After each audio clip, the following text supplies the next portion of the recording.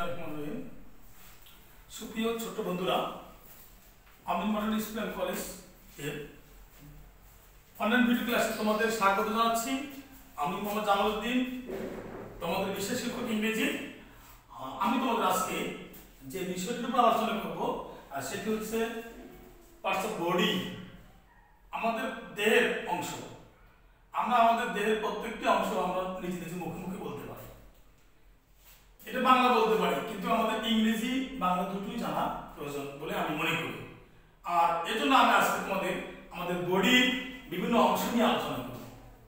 আমরা যদি বলি যে এটার ইংরেজি নাম কি? এটার ইংরেজি নাম হচ্ছে head H E A D head head head অর্থ হচ্ছে মাথা তারপর যদি বলি এটির ইংরেজি নাম কি মুখ এটি ইংরেজি mouth M O U T S mouth mouth হচ্ছে মুখ। মাউথ হচ্ছে মুখ।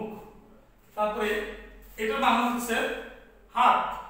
এটার বাংলা হচ্ছে হাত। আর ইংরেজি হচ্ছে hand. H A N D. Hand. Hand অর্থ হাত। হ্যান্ড অর্থ হাত। আর এটা হচ্ছে হলো নখ। নখ, এটা হচ্ছে এটা হচ্ছে নেই নেই নেই নখ এন এ আই এল নেই এটা হচ্ছে নাক নাকের ইংরেজি হচ্ছে এটা হচ্ছে নেই এন এ আই এল নেই নেইল অর্থ হচ্ছে নখ আর এটা হচ্ছে নাক হচ্ছে nose N O S E nose হচ্ছে নাক। দুটো নয় না ক নাক।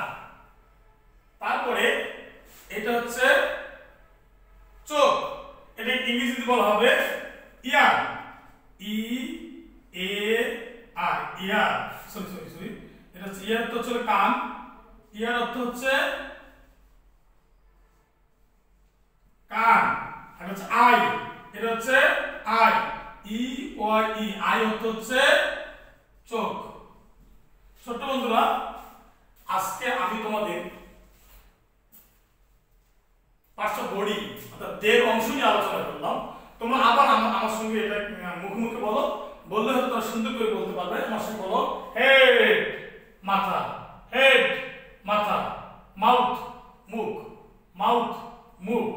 হ্যান্ড হাত হ্যান্ড হাত নেল নখ নেল নখ নোজ নাক। নোজ নাক। ইয়ার কান। ইয়ার কান। আই চোখ। আই চোখ। ছোট বন্ধুরা, তোমরা এভাবে তোমার আব্বা আম্মুদের কাছে সুন্দর করে আমার আমার আমার কাছে যেভাবে মুখে মুখে বলেছ, তোমরাও একটু বারবার একটু করতে চেষ্টা করবে। আশা করি এইভাবে পড়লে তোমরা পরবর্তী ক্লাসে আমাকে সঠিকভাবে উত্তর দিতে পারবে। এবং সেই পর্যন্ত ভালো থাকো সুন্দর থাকো সুস্থ থাকো। আল্লাহ হাফিজ।